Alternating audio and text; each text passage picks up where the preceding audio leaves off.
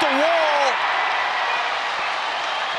Going into second base, no signal, and then single that's now out. is a home run. I'm say, I thought that was out. Kiss it goodbye. Ohtani, two-run shot, a missile.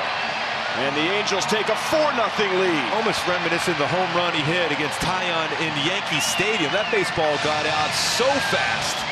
What a swing for Shohei. 111 miles per hour exit velocity. Segoy. Shohei. Oh, Cowboy hats back. Giddy up.